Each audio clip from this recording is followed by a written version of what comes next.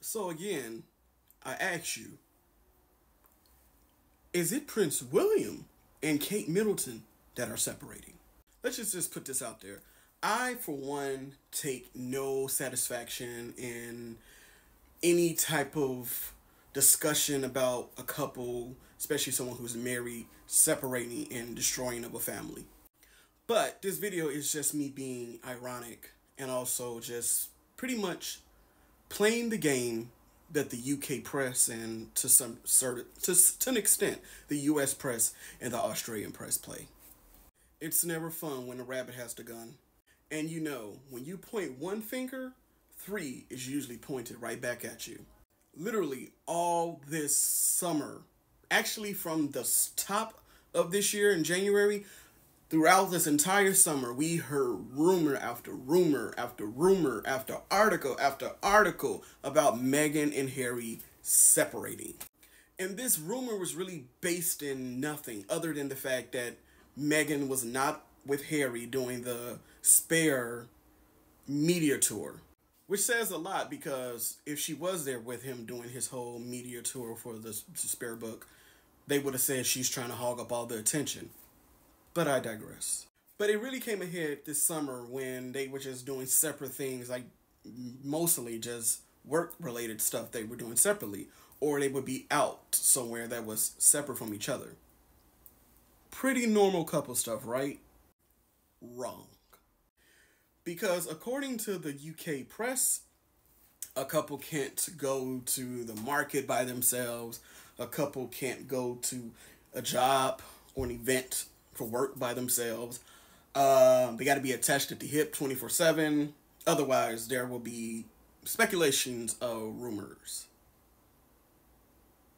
Which brings me to the topic for the day this right here. So, because if we were to go by the standards of the UK press and everyone else, when a couple does something separately, that means they're headed for divorce. Am I wrong? So it was confirmed by the palace that Kate Middleton would not be attending this year's Earthshot Prize Awards in Singapore with Prince William. It is said her absence is due to the fact that Prince George will be taking exams around that time and she wants to be there to support him. oh, mind you, I would never criticize a parent for wanting to put their child first and to make sure that they have a positive uh, impactful upbringing. But where was that same grace from Meghan Markle for how many years at this point?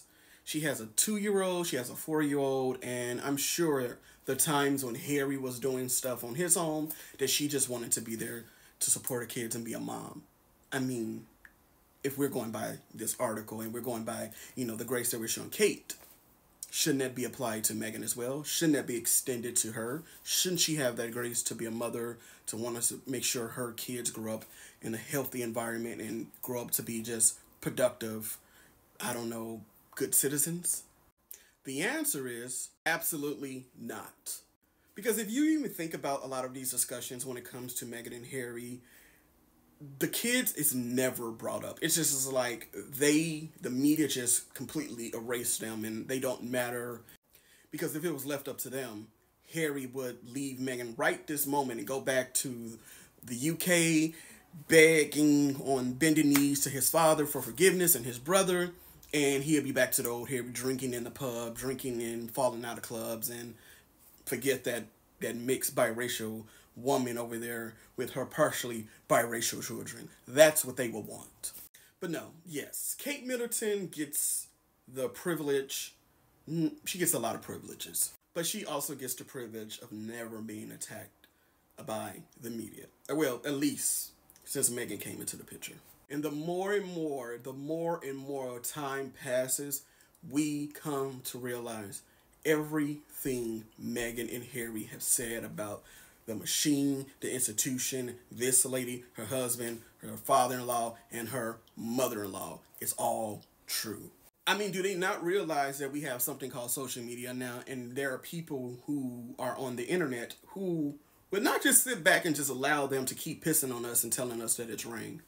Because do you remember this article literally maybe a month and a half ago?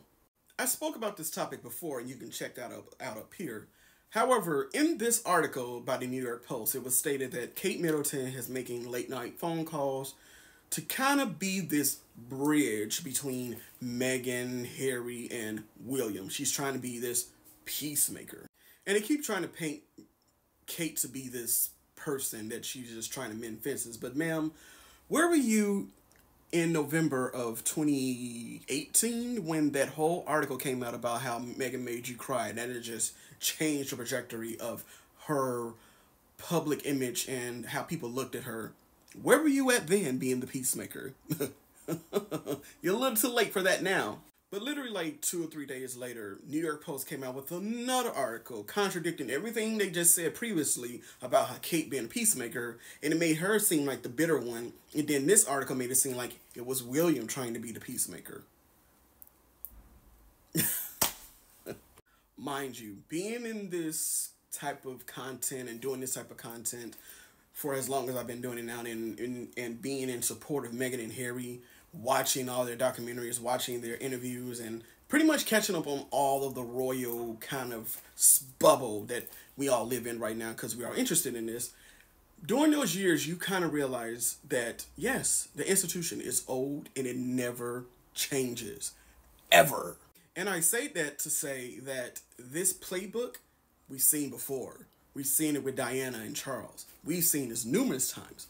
When there is a issue and at the time, the public may not know this, but if you go back to those old articles, those old publications when it was between before we knew that Diana and Charles was separating, there was a lot of briefing between both of them. A lot. And it looked as innocent as it looked right now with these two. And again, I am not saying that I want this for anyone. Not at all. What I'm saying is, it was good for the goose, it's good for the gander. There is no way you can sit up here and tell me at this point that everything Meghan and Harry has said about how the media has used them in particular, particularly Meghan, as a cover up for other stuff that's going on in that family. There's no way you can sit up here and tell me or deny that at this point. And there's no way you can sit up and, and try to say that there is no projecting that's happening. Not at all. Especially with Meghan. There's a lot of projecting on Meghan from a lot of people. Not just these racist Karens, not just these racist Kens, but from a lot of people. Even from black people, there's a lot of projecting onto Meghan. For what, I do not know, but there's a lot of projecting onto this one woman. And if you're going back to the separating separation rumors, those separating separation rumors could be true. It just might be the wrong couple. And again, I do not wish this on anyone. But if we're going by what or the or the the method of how the media is measuring how Meghan and Harry could potentially be separating, then if that's the case, you have to apply that to William and Kate. Because they've been doing separate things for a while now. Remember this one?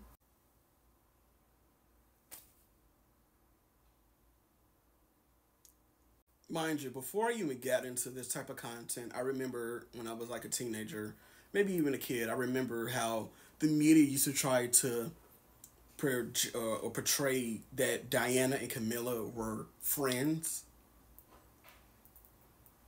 And I know I'm not wrong about that because I remember when they used to say it, I'd be like, how can they say that they're friends and that is the woman who destroyed her marriage and made her life a living hell? How can how how is that how is that even possible? And then see this article. Same playbook. Again, this old institution never changes. Not one bit. Not one bit.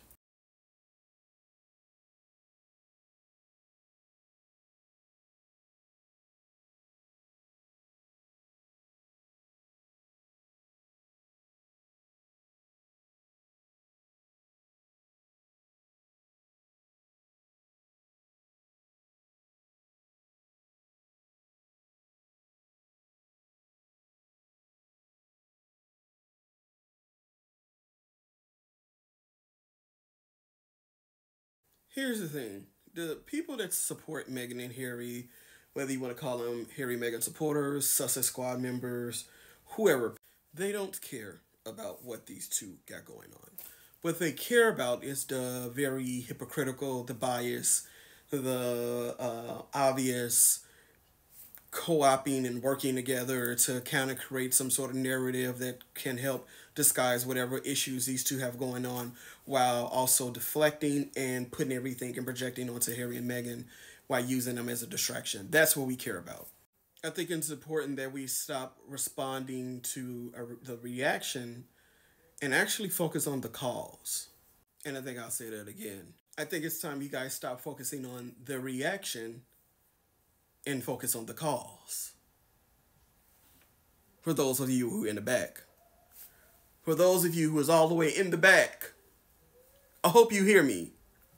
Because I think there's a point where everything that you say about Meghan and Harry, people will start to understand and realize that you're actually saying that about Kate and William. I'm just saying.